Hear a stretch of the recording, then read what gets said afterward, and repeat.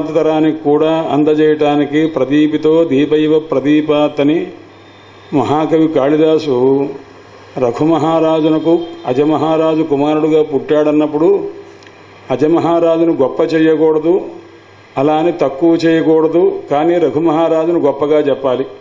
అది కాళిదాసుకున్నటువంటి గొప్పతనం. ప్రదీపిత అని ఈ ప్రదీపమెవరు అన్నారు రఘుమహారాజు. ప్రదీపం వల్ల ఏం కలిగింది అన్నారు. ఓ దీపం వచ్చిందండి అన్నారు. ఇక్కడ ప్రా తీసేశారు అజమహారాజు దగ్గర ప్రదీపితో దీప ఇవ అన్నారు. అంటే బాగా దీపింపబడినటువంటి దీపంలాగా అన్నారంటే ఆయన ప్రదీపము ఆ ప్రదీపం వల్ల ఇది దీపమైంది అంటే అజమహారాజు రఘుమహారాజు అంతటి వాడు కాడు అని అర్థం వచ్చింది. అలా అనుకొని తక్కువ అంచనా వేస్తారేమో ప్రదీపితో దీప ఇవ ప్రదీపాత్ అన్నాడు. ప్రదీపం వల్ల ప్రదీపితమైన దీపం అంతే తప్ప దీపం అని అన్నామే కానీ అది ప్రదీపితం అంటే బాగా దీపితమైంది కాబట్టి దానికి అంతకాంతో అంతకాంతి ఉంది కాబట్టి ఆత్మావై పుత్రనామాసి అని తండ్రి ఎంత ఉన్నారో తండ్రి ఎంత కుమారుడైనారు అనేటువంటి భావన. అది ఎలా వస్తుంది? కేవలం గురువు అనుగ్రహం వలనే వస్తుంది. కానీ ఒక్కటి విషయం గ్రహించవలే రామచంద్రమూర్తి యుద్ధం ఎలా చేశారు అన్నారు. అంటే చాలా సైలెంట్గా చేశారండి అని ఒక సమాధానం. అంటే నిశ్శబ్ద యుద్ధం జరిగింది అన్నారు. రామచంద్రమూర్తి యొక్క చాపమే గనక ధ్వని చేస్తే ఎలా ఉంటుంది అన్నారు. ఆయన నాగానాం అయుతం. రామచంద్రమూర్తికి ధనస్సు ఉన్నది. ఆ ధనస్సును వర్ణిస్తూ రామభద్ర దీక్షితులు అనేటువంటి మహాపండితుడు నూట ఎనిమిది శ్లోకాలు రాశారు. రామచంద్రమూర్తి బాణాన్ని వర్ణిస్తూ ఒక నూట పది శ్లోకాలు రాశారు. రామచంద్రమూర్తి యొక్క అమ్ముల పొది అంటే బాణాలు పెట్టుకునేటువంటి తొట్టె దాన్ని వర్ణిస్తూ ఒక వంద శ్లోకాలు పైన రాశారు. రామచంద్రమూర్తి యొక్క స్వరూపాన్ని వర్ణిస్తూ ఒక మళ్ళా నూట పాతిక శ్లోకాలు. ఆ రామభద్ర దీక్షితులు అంటే అప్పయ్య దీక్షితుల వారికి మనవడు వరసవుతారు ఆయన. ఆ మహానుభావుడు చెప్తున్నారు ఇంతకు ముందు కూడా రామచంద్రమూర్తి యొక్క ధనస్సు ఏం చేస్తుంది ఏమిటి అంటే అసలు రామచంద్రమూర్తి ధనస్సు ఉంది ఆ ధనస్సునకు రెండు కోట్లున్నవి ఏ ధనస్సుకైనా రెండు కోట్లుంటవి. రెండు కోట్లు అంటే ఏమిటి అన్నారు? అంటే ఒక తాడు కట్టడానికి అంచును ఒక కోటి అంటారు ఈ కింద ఉండేదాన్ని ఇంకో అంచు అంటారు మొత్తం రెండు కోట్లు. కాబట్టి సామాన్యంగా డబ్బున్నవాడికే డబ్బు మీద ఆశ ధనస్సునకు రెండు కోట్లున్నవి. కానీ బాణంతో దేన్ని కొడుతుంది అంటే లక్ష్యాన్ని కొడుతుంది అన్నారు. రెండు కోట్లు ఉన్నవాడికి లక్ష్యం మీద ఆశ కదా అని ఒక చమత్కారం. అలా కాకుండా రామచంద్రమూర్తి యొక్క ధనస్సునకు కోటి ఉంటే ఆ కోటి దగ్గర ఒక మువ్వల జ- గంటలు ఉన్నవన్నమాట ఆ గంటలు ఎన్ని అని అన్నారండి? అంటే ఇరవై మువ్వలు ఉంటవిటండి. ఆ ఇరవై మువ్వల్లో ఒక మువ్వ ధ్వని అవ్వాలంటే ఏం కావాలి అన్నారు. అంటే అది తొందరగా కదిలేది కాదు. కదిలి ధ్వని చెయ్యదుట. ఎప్పుడు చేస్తుంది అన్నారు.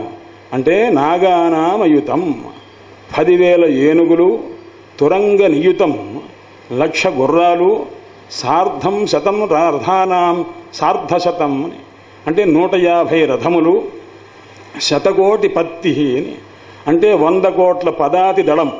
అంటే ఇంతమంది చనిపోతే అంటే రథంలో రథాల్లో నూట యాభై మంది రథ ఆరూఢులైనటువంటి మహావీరులు వెళ్ళి యుద్ధంలో చనిపోతే అలాగే పదివేల ఏనుగుల మీద ఉన్నటువంటి ఆ బలమంతా నష్టమైపోతే లక్ష గుర్రముల మీద ఉన్నటువంటి వాళ్ళంతా నష్టమైపోతే కోటి మంది వంద కోట్ల మంది పదాతి దళం వాళ్ళంతా పోతే అప్పుడు ఏం జరుగుతుంది? ఏకా కబంధ నృతి అన్నారండి.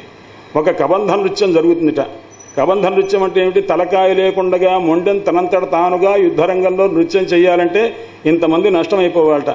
ఇలాంటి కబంధ నృత్యము ఒక కోటి జరిగితే అప్పుడు రామచంద్రమూర్తి యొక్క ధనస్సునకున్నటువంటి మువ్వ శబ్దం అవుతుంది.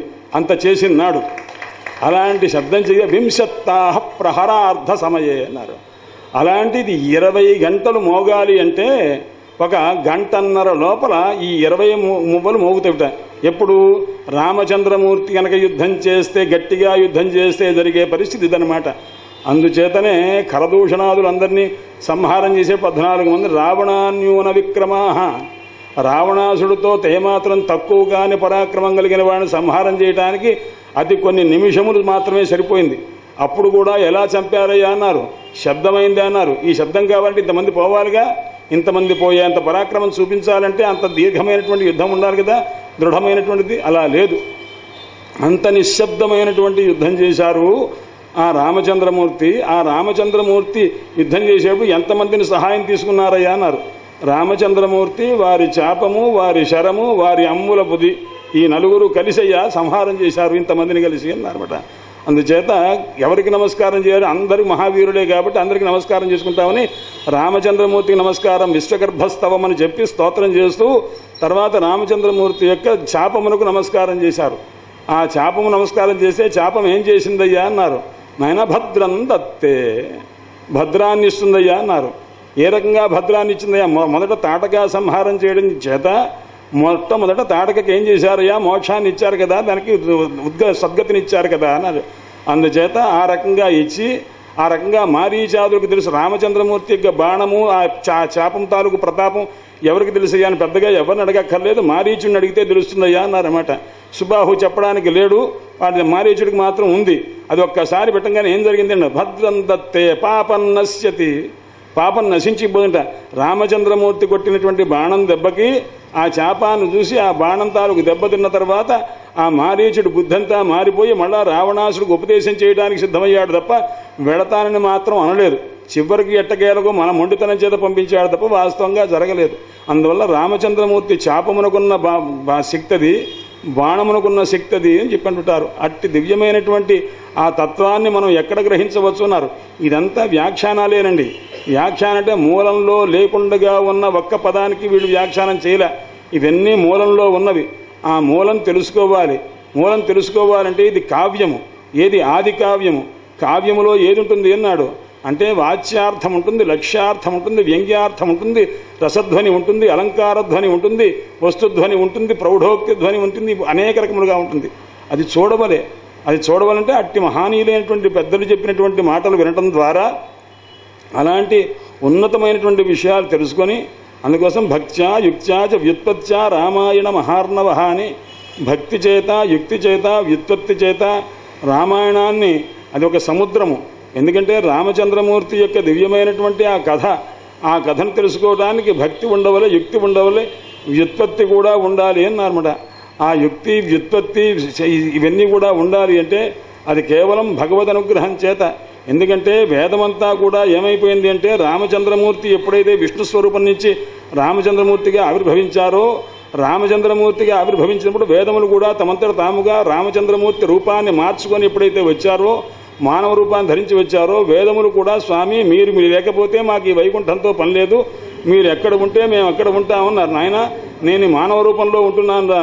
అయ్యా మేము మా వేద స్వరూపంలో ఉంటాం మీ రూపానికి అనుకూలమైన రూపంలో మేము ఉంటాము అని చెప్పి వాళ్ళు కాస్త అంత వేదంగా కాస్త ఏమైందయ్యాను రామాయణంగా పరిణమించింది. వేద సా ప్రాచేత సాదాసీత్ సాక్షాత్ రామాయణాత్మన అంటే ఈ వేదమంతా ఏ రూపంగా ఉంది అంటే రామాయణ రూపంగా ఉంది కాబట్టి వేదార్థోహి స విజ్ఞేయ అని రామచంద్రమూర్తి కథ వింటే ఏదో కథ మాత్రమే తెలుసుకుంటున్నాం అనుకోవద్దు వేదార్థమనే తెలుసుకోవాలి అని. అలాంటిది అత్యంత సులభంగా ఉండటం కోసము ఆ వాల్మీకి ఋషిలో ప్రవేశించి తద్వారా రామాయణం అనేటువంటి వేదరూపమైనటువంటి రామాయణం మనకు పొందబడింది. అలాంటి వేదస్వరూపంగానే భావన చేసుకుని దాన్ని అర్థం చేసుకొని మననం చేసుకుంటూ ప్రతార్థనం కావలే. అలాంటి దానికి ఇలాంటి మహనీయుల యొక్క ప్రవచనులు పెద్దలైనటువంటి వాళ్ళు వాళ్ళు చెప్పవలే మన సంస్కారాన్ని మన సంస్కృతిని ఏనాడు విడవకుండగా ఇందులో ఉన్నటువంటి అంతరార్థములు వాక్యార్థము భక్తి ప్రధానంగా తెలుసుకుంది. ఈ మూడింటిలో కూడా చూడండి. భాగవతం తెలుసుకోవాలన్నా భక్తి ఉండదు భారతం తెలుసుకోవాలన్నా భక్తి ఉండవలే రామాయణం తెలుసుకోవాల్సిన భక్తి ఉండవలే. అలాంటి భక్తి చేత సాధ్యమయ్యేటటువంటి ఇలాంటి దివ్యమైనటువంటి సభలు ఆ సభల్లో పాల్గొనేటువంటి అవకాశం నాకు ఇచ్చినందుకు కృతజ్ఞత తెలియజేసుకుంటున్నాను. హరయే నమ. స్వస్తి.